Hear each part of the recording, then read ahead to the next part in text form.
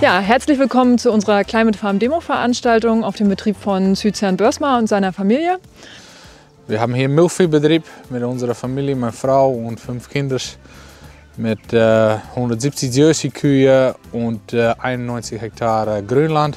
Wir machen Blockabkalbung, März, April, Mai kalben die Kühe ab und Vollweidehaltung versuchen wir so viel wie möglich.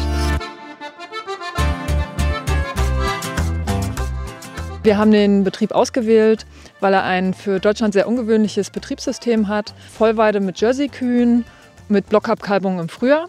Das Weidesystem bzw. Weidemanagement äh, entspricht dem irischen bzw. neuseeländischen Vorbild. Das heißt, es wird eine intensive Umtriebsweide gefahren.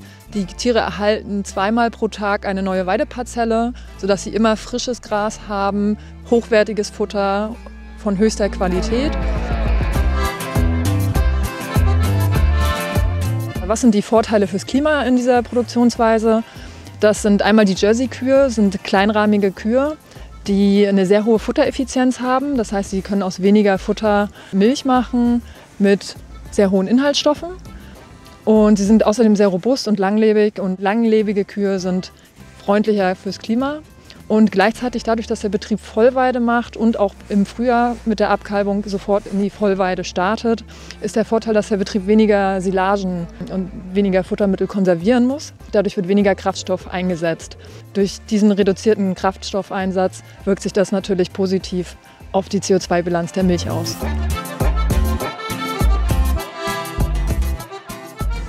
Der Betrieb ist sehr auf den Standort angepasst und die größte Maßnahme, die der Betrieb umsetzt, ist, dass auf dem Grünland nicht nur Weidelgras und Klee ähm, eingesetzt werden, sondern der Betrieb setzt auch Spitzwegerich ein und Cichorie oder Chicorée, um auf Spätsommertrockenheit reagieren zu können, da diese beiden Pflanzen äh, durch ihr tieferes Wurzelsystem im Sommer auch Wasser aus den tieferen Bodenschichten besser nach oben fördern können und deswegen den Bestand quasi stärken und die Futtersituation verbessern.